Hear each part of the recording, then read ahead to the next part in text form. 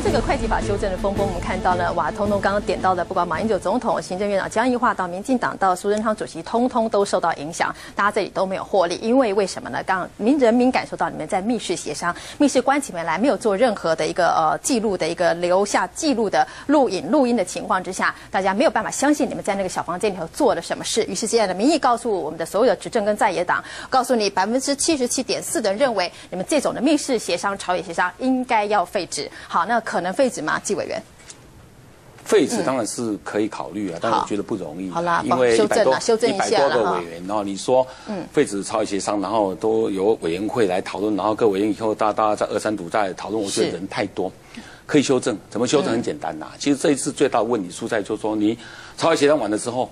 大家所有的委员不知道，甲级动员已经结束，大家都回去了，没错马上进入二三读。嗯，换句话说，你通过，这些委员都不知道，要协要修的很简单嘛，就是说你协商出结论之后，你一定要通知各个委员，然后呢，两三天以后，就好像我们有复议期一样啊，就是说大家委员没有意见了，那我们就二三那一定没有问题嘛。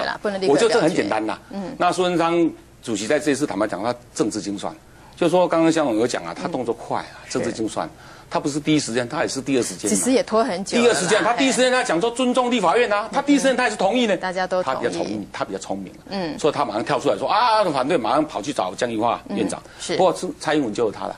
蔡英文如果没有在脸书上批评说民进党要推举责任的话，他会想到吗？他应该感谢蔡英文。但是我要讲说，其实他书上讲说这是历史工业是错的，不能叫历史工业，因为有些人没有犯罪，你们怎么讲共业呢？共业是大家都犯罪才共业，有些人还是没有犯罪，应该讲说制度陷阱，可以这么讲。好好，可以作为这个量刑的参考是了。，不管是叫制度陷阱还是历史工业，但我相信对所有观众朋友来讲，为什么你们犯的错可以除罪化？哪叫历史工业？大家通通来当民意代表就可以犯错，当大学教授就可以用这个什么不实发票来报账嘛？钟委员，你可以接受吗？你也是大学教授，我本来我当校长的时候就规定说，嗯，将来一定要根据实际的报销。嗯，那时候有些教授去反弹，说这个很麻烦嘛。那我就说我宁可让你们现在骂我说很麻烦，对也不要将来你们关进去以后再恨说，哎，你当校长为什么不把这个讲清楚？是所以我我是认为我们当教授的人在这一块更应该要遵守法令。嗯，再来，这次修会计法是修的很奇怪的。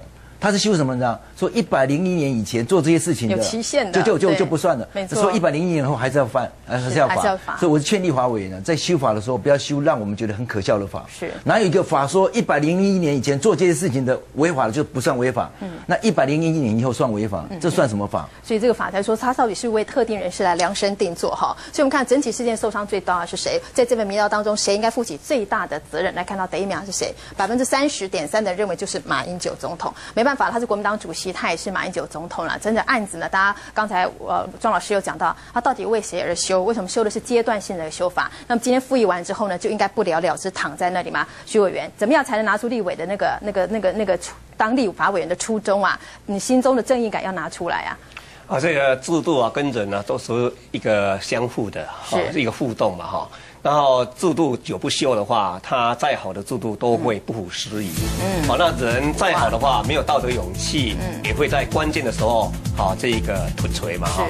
啊，所以这个事事件是这样。然后谈到这个会计法这个修正，本来就不应该去修会计法的。你这个贪污的问题，怎么会用会计法，哦，去帮他除罪呢？这个莫名其妙啊。所以那哦那那你们所以啊，这个这个都乱了套，乱了套以后要从宪法重新开始检讨，从宪法重新开始检讨，好好的让人民可以有一个。